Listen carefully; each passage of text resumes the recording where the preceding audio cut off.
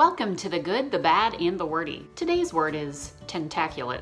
According to the Merriam Webster Dictionary, the adjective tentaculate means having tentacles. Ugh, off! Cephalopods, which include the squid, cuttlefish, and octopus, are tentaculate. According to LiveScience.com, here are some interesting facts about the octopus.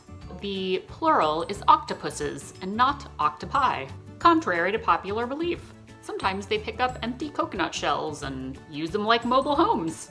Clever! At the Seattle Aquarium, a giant female Pacific octopus named Billye was put to the test by biologists. They put a snack in a child-proof pill bottle, and she had it open within five minutes. Yes, snacks. It's my kind of gal. A common octopus has about 240 suckers on each limb, and a particularly large sucker can hold up to 35 pounds. Despite all of that amazingness, the octopus's lifespan is pretty darn short. It can range from just six months to a couple of years. Makes me feel kind of sad.